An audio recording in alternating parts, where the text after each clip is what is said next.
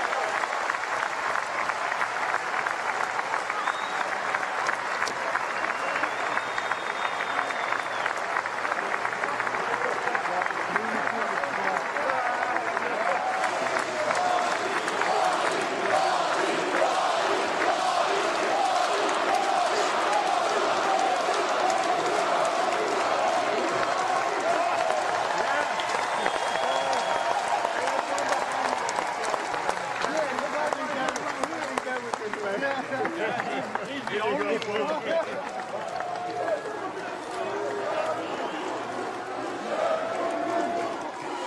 Dick Vitale earlier today spoke with Quinn Buckner, and we asked him, what is today about?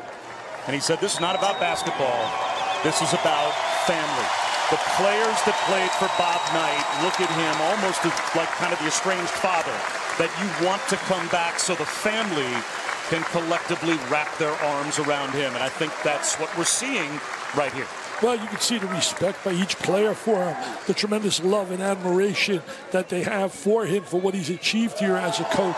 And it's so beautiful to see the kind of affection that these beautiful fans have shown as he walked on this court. I'm so happy that that moment has happened. Tried to talk yesterday with him about it. It's just a special moment. Really done a great job, Patrick, and all the family members in making this happen. Rece Davis, if a picture speaks a thousand words, it's about a million words right there on the face of Bob Knight as we go back to you.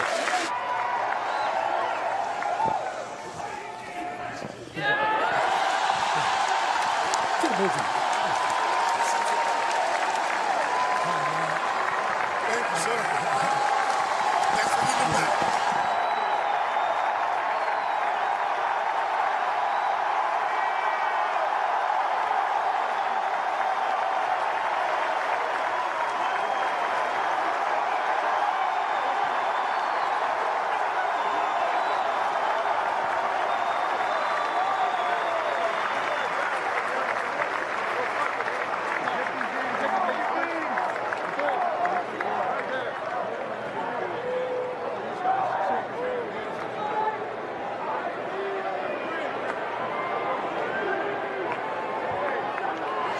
ハハハハ!